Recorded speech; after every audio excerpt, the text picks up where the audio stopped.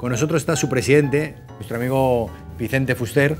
Muy buenas tardes, ¿qué tal? ¿Cómo estás? ¿Qué tal? Buenas tardes. Bueno, que sin duda Almirante Cadarso que se iba con Don Noche Indultats tocando la gloria y que vuelve con esa misma ilusión a una exposición de Ninot con Ninots nuevos, pues a tocar otra vez de nuevo la gloria. Sí, efectivamente. Nos tocó celebrarlo un poco en la intimidad porque ten en cuenta que las fallas se cancelaron el día 10 de marzo y nos enteramos por una fría llamada telefónica de que habíamos logrado ese doblete histórico para nuestra comisión. Entonces, eh, cuando eh, tuviésemos nueva exposición, eh, teníamos que hacer ninos nuevos, sí o sí, porque los nuestros ya estaban indultados. Entonces empezamos con muchísima ilusión a diseñar, a crear esos ninos que llevamos el lunes pasado a, la, a la Marina de Valencia y vamos a ver qué es lo que pasa, vamos a ver el veredicto popular, qué es lo que nos dice. Bueno, dos, eh, dos estamos viendo el, del pasado año, que son los últimos que se indultaron, y este año volvéis también pues, con manos de un gran artista que, que os ha llevado a lo más alto ¿no? en esto de los Ninoch indultats. Sí, eh, tenemos la satisfacción de contar con Manolo Algarra. Manolo Algarra eh, ha logrado en nuestra comisión siete Ninoch indultats. Que se dice pronto, ¿eh? Que se dice pronto. Siete Ninoch indultats es, eh, tengo que decir, el artista que más niños indultats eh, de falla grande ha logrado en Valencia. Y eh, la comisión infantil también ha logrado, nuestra comisión, seis niños indultats. Es decir, que en nuestro palmarés tenemos la satisfacción de contar con 13 niños indultats a lo largo de la historia. De momento, ahora, ahora tenemos la suerte, con respeto a todas las fallas que han llegado Grande Ninoch. Estamos viendo el de este año, Vicente. Otras comisiones ¿eh? también han llegado Grande Ninoch, ¿eh? no hay que desmerecer a ninguno. Y al final ahora pues la suerte está echada, ¿no? Está bien que el, que el público vaya, asista, disfrute de la exposición y vote al que más le guste, ¿no? Sí, nosotros hemos eh, diseñado dos Ninoch para optar evidentemente a lograr alguno o incluso los dos Ninoch indultats. Sabemos que es una competición muy difícil, depende de la votación popular, depende de llegar al corazoncito de esa gente que deposita su voto. Y bueno, vamos a ver el, público qué es lo que decide. Sabemos que es complicado, todos los años es muy complicado. Este año yo lo veo también realmente complicado. Bueno, pues vamos a ver qué es lo que el público decide y ahí estamos ilusionados, ilusionados más que nunca y a ver qué es lo que ocurre. Homenaje en el infantil a la batalla de flores. Sí, sí. Eh, nosotros, eh, vamos a ver, todos los años la Feria de Julio se cancela con esa maravillosa batalla de flores. Llevamos dos años ya sin poder celebrarla.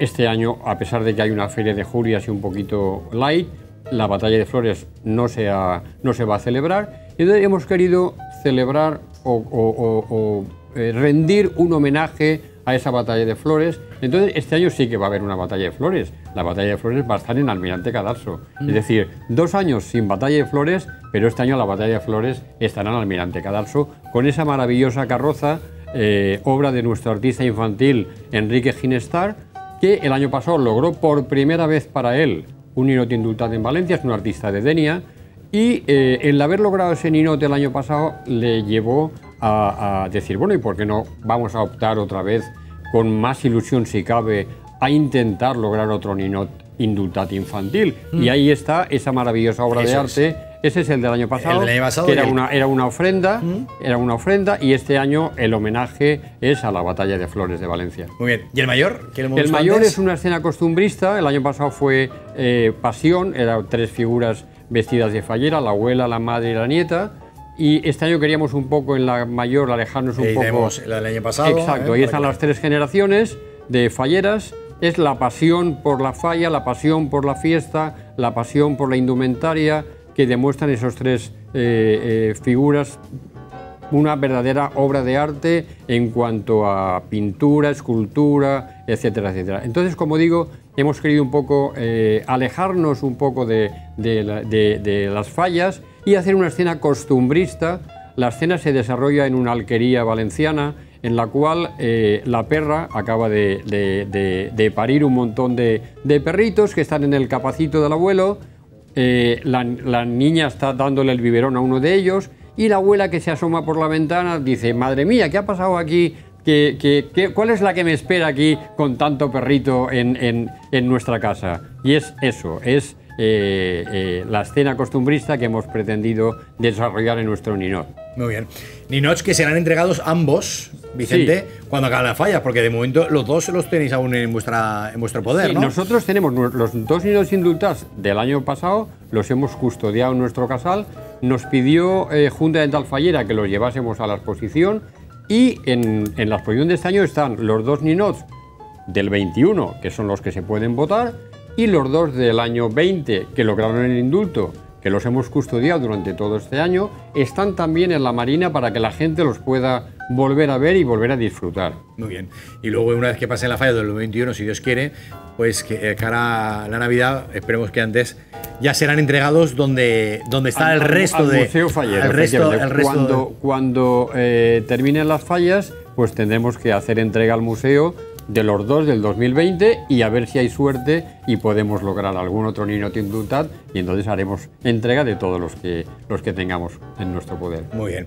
Bueno, que, ahora te estarán viendo y dirán, bueno, eh, Vicente pide el voto, pero es que es normal, ¿no? Cada uno tira para su falla, ¿no? claro, yo, también tiro para la mía, decir que esto es normal, ¿no? Esto es el gen del fallero, ¿no? Y eso es así, ¿no? Sí, eso es así. Bueno, nosotros, eh, yo creo que, que los ninos son dos ninos eh, preciosos, fácilmente eh, votables y, bueno, pues la gente que vaya a ver la exposición del Ninot, espero que disfrute con nuestros Ninots. Oye, y si son de su agrado, pues que los vote con toda la libertad y con todo el cariño y nosotros evidentemente se lo agradeceremos porque para eso hemos llevado esas obras de arte a la exposición del Ninot. Bueno, hablando un poquito de las fallas, ya que te tengo, Vicente, ¿cómo se presentan las fallas? Bueno, pues las fallas con muchísima ilusión eh, vamos a ver si la situación sanitaria mejora un poco y nos permite eh, hacerlas y celebrarlas de la mejor forma posible. Pero vosotros habéis sido una, comisión que durante todo este año y algo, ya no lo sé, año y cuatro o cinco meses, porque ya habíamos perdido la cuenta, habéis eh, realizado actividades alternativas. De hecho, habéis hecho actividades digitales para poder disfrutar desde casa, para acercar la falla a todos los valencianos. en definitiva, no habéis estado vivos. Sí, nosotros todo lo que la situación sanitaria nos ha permitido lo hemos eh, celebrado. Es decir, por ejemplo, el día 12 de diciembre, eh, ya que no pudimos celebrar eh, eh, la consecución de los indultats en la ciudad artista fallera, coincidiendo con el cuarto aniversario de las fallas como patrimonio inmaterial, hubo un acto precioso de homenaje a nuestros ninots y fue un acto entrañable. Y como tú decías, pues dentro del mundo del tema digital, pues se han presentado juegos, se han presentado cosas para que la gente pueda eh, eh, vivir lo que se pueda de las fallas, pero no perder el nexo de unión con la comisión, no perder el nexo de unión con el mundo de las fallas y mantener ese espíritu vivo que es lo que nos mantiene a los falleros en todo momento. ¿Preocupación que no se, como presidente el no saber aún muy bien qué va a pasar mañana ni las normas claras, porque aún realmente no sabemos exactamente lo que vamos a poder hacer en, nuestra falla en el mes de septiembre. Sí, preocupación como presidente y preocupación como médico. Tú sabes que yo soy médico, he tenido, tenemos contactos pues, con sanidad, etcétera, etcétera. Eh, yo he oído de, voces, de voz de la consellera, que el fallero se eh, siempre ha sido, o ya confía en que el fallero es muy responsable, como lo ha demostrado a lo largo de este año y medio. Pero lo que nos preocupa a la sanidad y a los médicos es que con motivo de que la falla esté en la calle, el fallero es muy responsable, guardará la distancia, el control de aforo, etcétera, etcétera, pero con motivo de que haya monumento en la falla, en la calle, al calor de eso, el botellón, la gente que se desmadra, etcétera, etcétera. Eso es lo que realmente como profesional de la medicina nos da miedo. que, que pueda haber un rebrote como consecuencia de las fallas, lo cual sería francamente desagradable. Claro, porque al final llamas a las víboras, que digo yo, ¿no? Haces un llamamiento a las víboras que a la gente joven que salga un poco a la calle. Vale que sí que es verdad que estaremos más, ah, vacunados, ¿no? Sí, sí, pero fíjate, eh, hay gente que está vacunada y que lo está cogiendo también. Es decir, lo coges, lo puedes coger mucho más suave, pero la vacuna no te impide que puedas volver a coger el coronavirus. No lo coges con la virulencia, con la gravedad de quien no está vacunado, lo pasas de una forma prácticamente asintomática, pero lo puedes volver a coger, que es Por eso es el peligro de, de, este coronavirus y de esta pandemia que nos está tocando vivir. Pero los veinteañeros que en estos momentos que somos el problema, gente como yo de 20 años, estaremos vacunados para septiembre, ¿no? Esperemos. En los veinteañeros, el problema que está pasando ahora en Mallorca, etcétera, etcétera, es que hay un grupo de, de jóvenes, hay uno que está infectado pero que está asintomático y ese que está asintomático que no sabe que está infectado lo transmite a todo el grupo. Y todo ese grupo cuando llega a su casa lo transmite a todos los demás. Y es una cadena es una cadena sin fin. Y esa cadena sin fin hay que cortarla. Hombre yo lo que estábamos comentando antes del botellón eh, en la semana fallera yo creo que habrá que poner y lo van a poner eh, un horario de, toque de queda o un horario eh, a las 12 o a la 1 o a la gente a la hora que se considere oportuno para evitar y para poder prevenir dentro de lo posible ese botellón y que, y que, y que la infección se, se vaya extendiendo. medidas más severas, ¿no? Más sí, hacer, habrá que acostumbrarse a un mundo de fallas diurno durante el día, hoy a las 6, a las 8, a las 9 de la noche, oye, y a las 12 o la 1 hacer un toque de queda, que la gente se retire y poder prevenir de alguna forma ese botellón tan desagradable y que puede ser causa de que la incidencia del coronavirus se dispare para arriba. Moros y cristianos este año, por desgracia, en Almirante no, eh, eh, volvemos a pasar página hasta el 2022. ¿no? Dada, dada la, situación, eh, ahora en septiembre es inviable totalmente la celebración de nuestra Parada Mora. Estamos ya pensando en las fallas del 2022 si la situación va volviendo a la normalidad, el poder celebrar eh, la Parada Mora con toda la dignidad y con toda la, con toda la grandiosidad que se merece. Una Parada Mora que más se ha convertido en un referente ¿eh? cada, cada año el 19 de marzo. Sí, fue, eh, llevamos ya 44 ediciones, fuimos los pioneros en Valencia de introducir esa Parada Mora dentro de la fiesta de las fallas y bueno, pues ahí están nuestras 44 ediciones y cada año intentamos superarnos para que la gente venga a visitarnos y disfrute de nuestra parada. Pues seguro que todo eso pronto volverá a la normalidad. Esperemos que sí. Ojalá. Esperemos que sí, pero esto se alarga y mucho, ¿no? Por desgracia en la sociedad, ¿no? Sí, por desgracia, lo como tú decías antes, esperemos que con la vacunación, cuando esté todo el mundo vacunado, pues bueno, aunque hayan casos, pero que sean casos menos virulentos, que sean casos menos graves y que, y que la pandemia se vaya controlando. Mm. ¿Los representantes bien? Los representantes muy bien, bien. Bueno, pues les ha tocado vivir este año pues imagínate, eh, eh, el 10 de marzo con la miel ya aquí en la boca, que se cancelasen las fallas, pues bueno, han pasado el año de una forma súper bien, súper digna y, nos han representado en todos los actos que hemos ido con la, de una forma estupenda. No, repiten para el 2022? No, el para el 2022, si las fallas se queman como es de esperar el día 5 de septiembre, habrá un ejercicio, se iniciarán unas fallas nuevas, un ejercicio nuevo, representantes nuevos y, punto. Muy bien.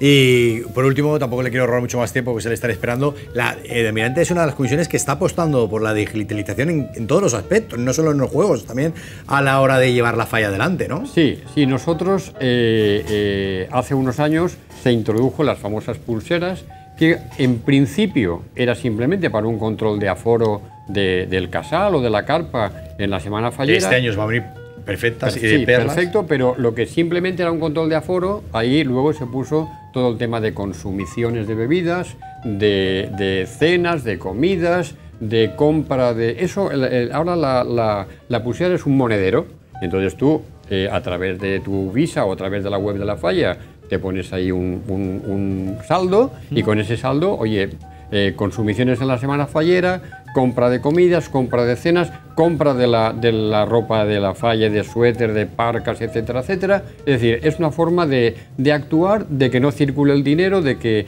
de tener el aforo controlado. Es una forma muy bien, que nos está viniendo muy bien y que está evitando pues, los listados. Oye, ¿quién viene a, la cena? No, está ya todo perfectamente controlado y digitalizado. Y este año perfectamente. perfecto para no poder Efectivamente, ya, ya, tuvimos ocasión en nuestras pulseras de ponerlas el año pasado en marcha en una fiesta perator. Además fue un ejemplo. En el mes de septiembre, allí en, el, en los tinglados del puerto, constituyó un éxito y, incluso hay muchas fallas que nos han estado llamando para ponerlo en marcha y yo creo que va a constituir eso el, el futuro de, del control de todo dentro del mundo de las fallas. Tenéis las fallas del 2020 este año, ¿no? O sea, como estaban previstas o se ha hecho alguna ampliación de la falla?